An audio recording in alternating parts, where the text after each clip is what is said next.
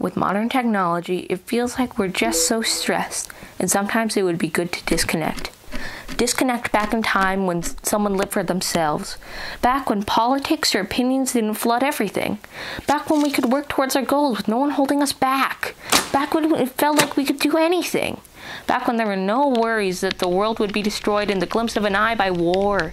Back when we strived and worked hard for our goals and didn't uh, worry about everything we had vanishing by a single mistake. Back when we could look out at the horizon, take a breath, and feel free.